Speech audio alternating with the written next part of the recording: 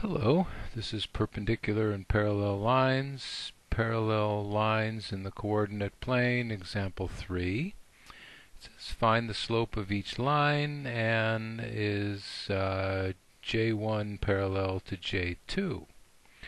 So um, uh, the the rises and runs are given uh, on the lines, so uh, I'll use that to figure out the slope. Uh, here the rise is 4 and the run is 2, so the slope is 2. Uh, here the rise is 2 and the run is 1, so the slope is also 2. And because the slopes are equal, the lines are parallel.